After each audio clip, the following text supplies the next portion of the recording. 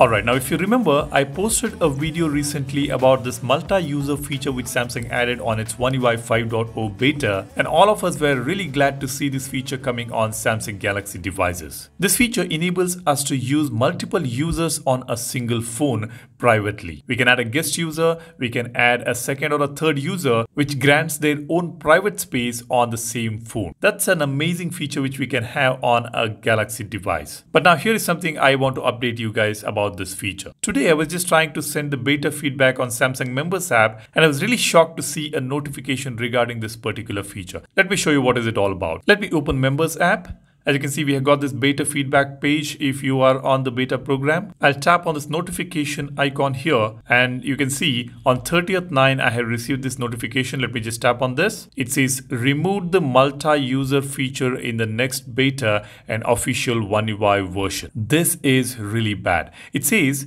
Hello, the multi-user feature was introduced in One UI 5.0 beta version, but Samsung removed the multi-user feature in the next beta version and the official One UI 5 version due to several issues.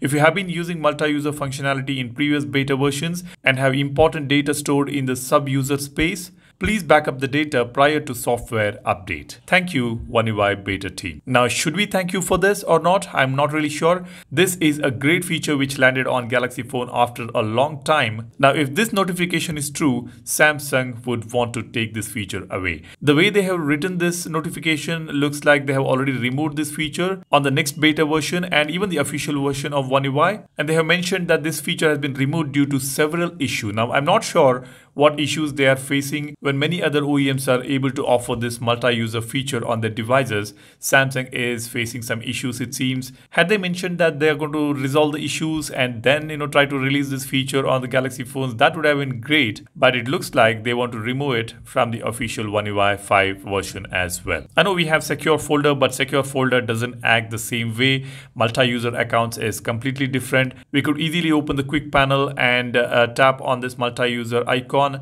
and use the second user space by just tapping on the account here. Now, as of now, I can still see this feature on the beta 3, but I think the upcoming beta will not have this feature. Now, if you have been One UI 5.0 beta user and if you have created these multi-user accounts on your device, be sure you back up the data so that you don't lose it when you update the next beta or uh, the next software version. I really feel Samsung should not remove this feature and they should sort out the issue and add it back, if not now, at least in the future. You let me know whether you have got this notification on the members app if you are uh, running on One UI 5.0 beta do drop a comment and do let me know whether you would prefer this feature or not. Share your thoughts in the comment section. And while you do that, be sure you subscribe to the channel so that you know your phone better and smash the like button if you find this video useful. That's all I have here in this video. Thanks for watching. You guys take care and stay safe. I will see you in the next one. My name is Salian signing off. Cheers. Bye-bye.